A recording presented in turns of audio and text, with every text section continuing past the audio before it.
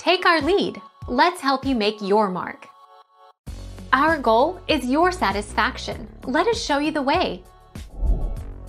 Connect an Ethernet cable to the Ethernet port on your modem. This port is used to connect other devices to your modem. Connect the other end of the cable to the router.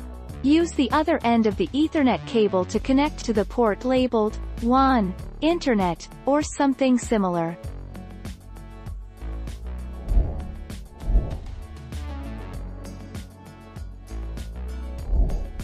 Take our lead.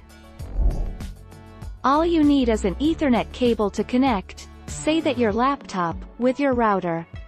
Make sure you plug the cable into the one of the LAN ports of your router.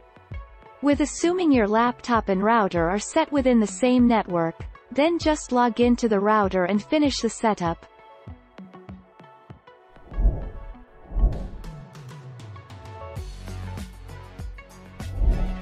Take our lead.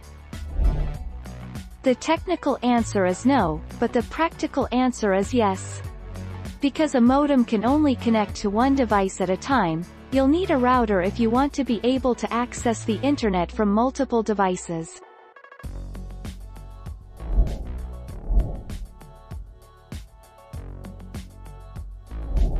Take our lead. Let's help you make your mark.